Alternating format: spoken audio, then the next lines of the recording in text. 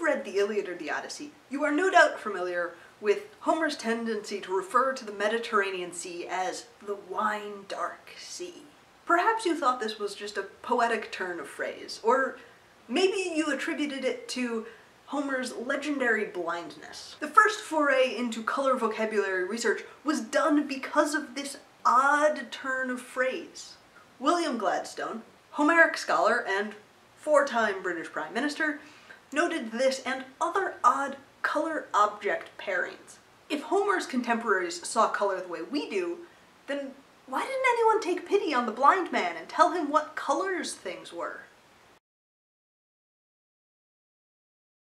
Something was different about Homer's color vocabulary. Black and white get mentioned over a hundred times each in the course of two poems, and red is a distant third with 13 mentions.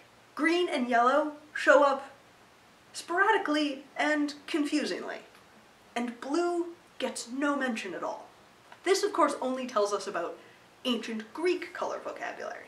Lazarus Geiger, German academic and contemporary of Gladstone's, takes the research further and found similar color patterns in Vedic Sanskrit and classical Hebrew. And he also found that the majority of Indo-European words for blue come from a word meaning black. Why did so many languages follow this same pattern?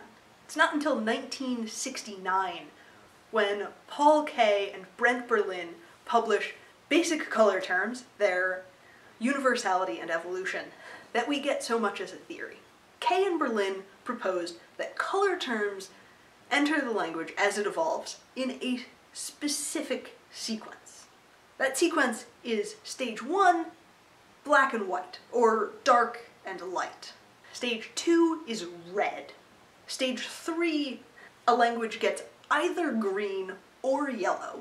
By stage four, a language has the words for both green and yellow. Stage five brings blue into the vocabulary. Stage six, brown. Stage seven brings purple, pink, orange, or gray. The idea here is that if a language is at a certain stage, say stage five with blue, it also has all of the vocabulary from the preceding stages.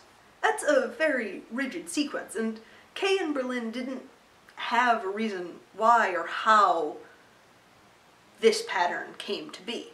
And like any groundbreaking academic study, it has caused discussion.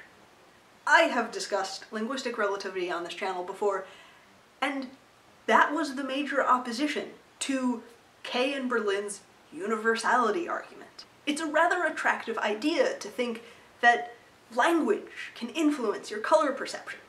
And it's sort of true.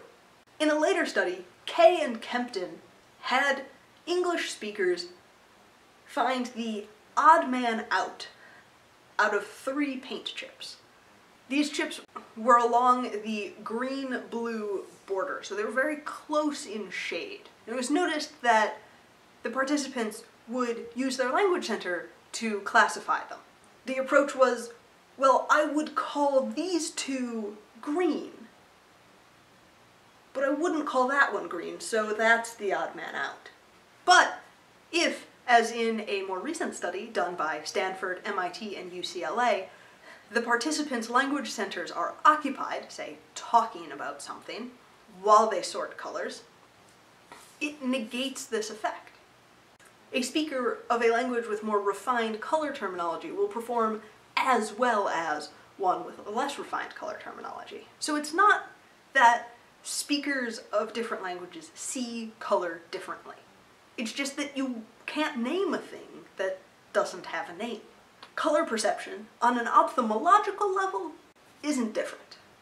Thanks for letting me share a word with you.